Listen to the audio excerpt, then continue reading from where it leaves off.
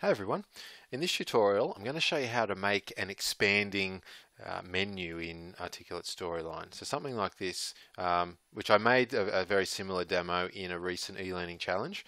Uh, so it's a matter of clicking the menu and it expands, shows some topics, uh, of which then the user can click on the, the numbers and go to that particular topic. Uh, the idea being like this is that it's compact and in it can essentially go anywhere on the slide um, in a corner or down the bottom or top. Um, I've just done it in the middle just to make it easier for the demo.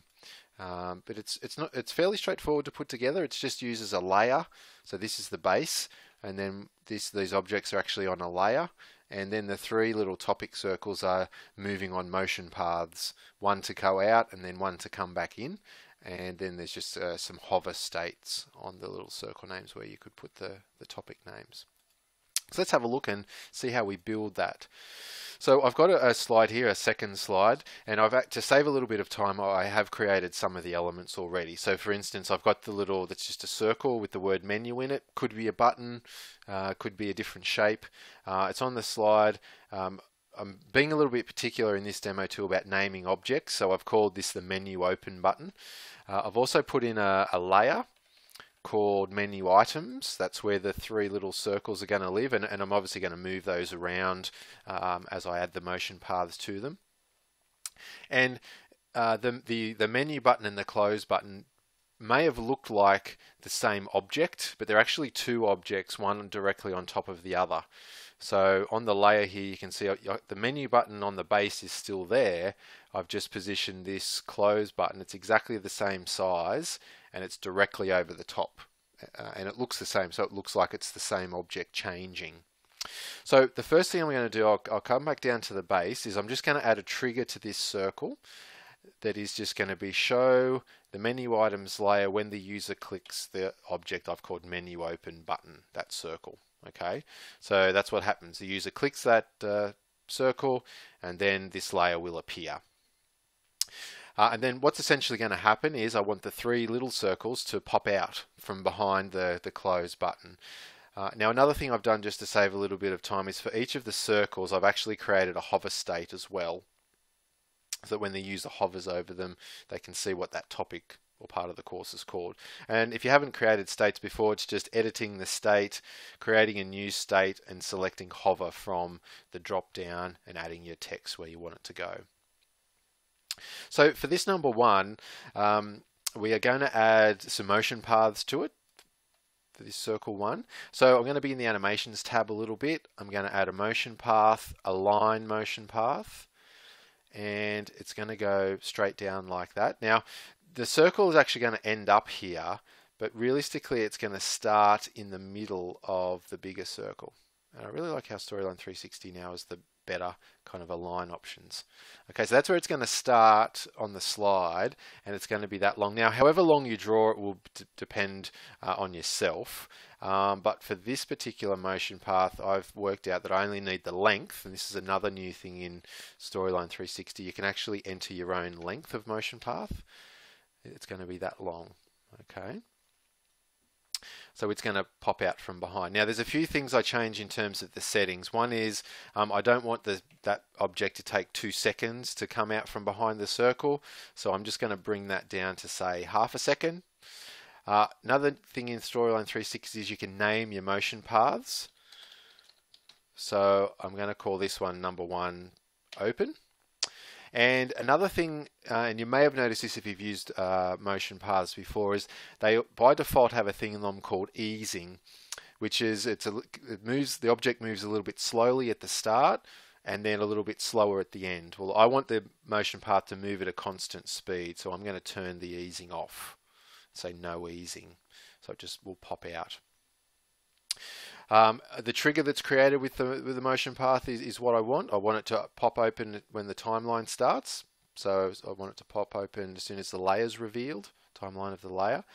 Uh, now what I'm going to do is I, I want another separate motion path for it to move back the other way. So I'm going to click back on the circle, come to path op, uh, come to motion paths I should say, and add another line motion path. And but this time in path options I want it to go up. Again, it's different length. So I want to bring the length down to 100 like before. Okay.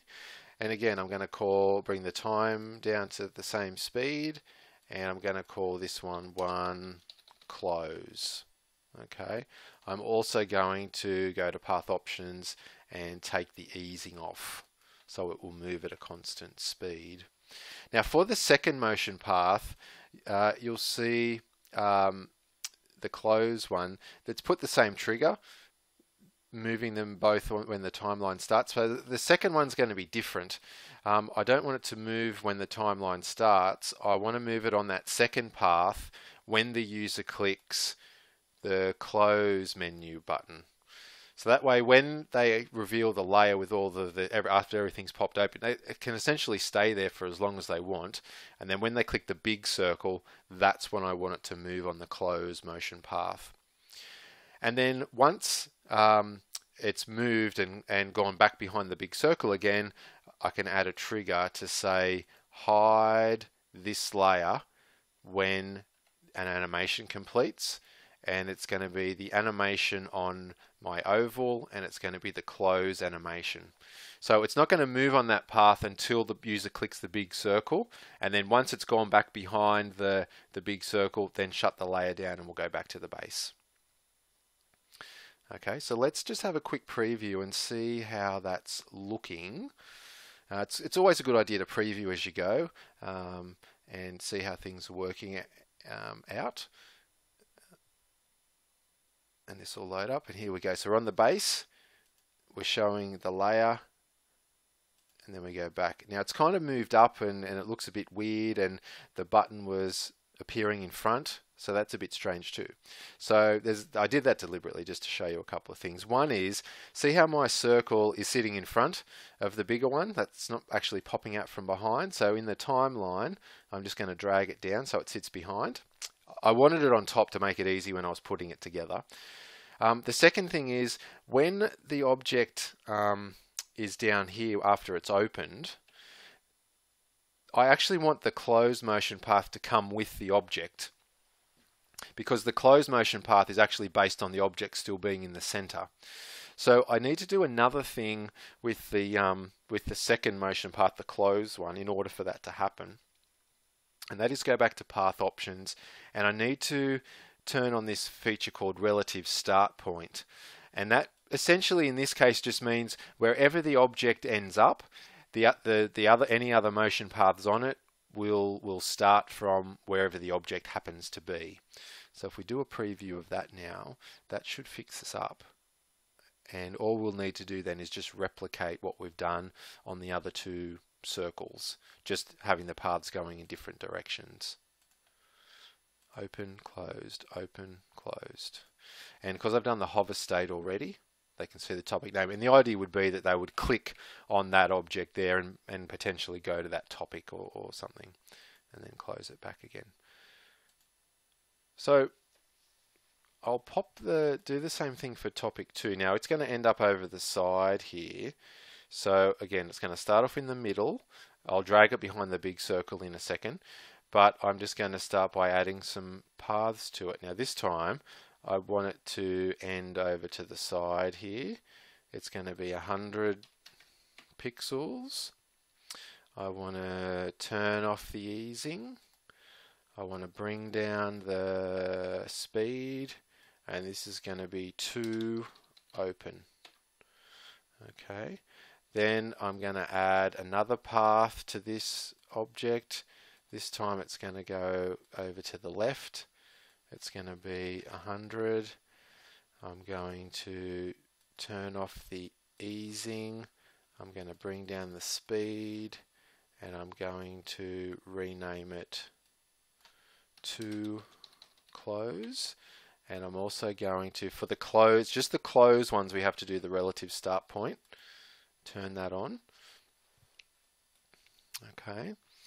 And what I just need to do is look, check my trigger. So I, I want um, I want the first oval is going to be when the timeline starts. Uh, the second oval also going to be the timeline starts of the layer I like to choose the layer there. Same with the first one. I want to have the timeline. So I find doing the timeline starts of an object sometimes can be problematic. So I always change it to timeline starts of the particular layer or slide that you're on. Um, I want to, the second motion path, the close one, I don't want that to happen when the timeline starts. I only want it to go back into place when the user clicks again the close button. So the all of the open triggers will happen when the timeline of the layer starts and the close triggers will all happen when the user clicks on the, the larger object. And, and then the layers just needs one trigger just and it can be it could be any of the animations but I just did it on the first one. And then finally number three we'll add some animations, motion paths, align. Now this one to when it pops out it's going to go up it's going to be 100 pixels. It's going to be half a second. I'm going to call this one 3 open. And I'm going to turn off the easing. Then I'm going to add a second path to it. It's going the right direction. I'm going to make it 100. I'm going to turn off the easing. I'm also going to turn on the relative start point just for the close one. I'll bring down the speed and I'm going to call it 3 close. And then I'll just check my triggers. So I want it to be when the timeline starts of the layer. And I want it to close when like move on the close path when the user clicks our close button. Okay. And then we'll just do a preview so like I said, you just replicate that five, six times depending on how many. You could like put these on a, a master slide and have it across your whole course. Open, close, open, close. Now one of the things I haven't done that I need to do is in the in the layer there, in the timeline. See how the, the two and three circles were still sitting on the top? So I just drag the, both of them so that they're sitting, the, the menu close object has to sit at the very top of the timeline so that it covers everything completely. Do a preview of that and everything all going well should be working. Showing layer, hiding layer, and then these objects on the layer. Well, there you have it. That's creating a little uh, expanding circular menu in Storyline 360. I'll catch you next time.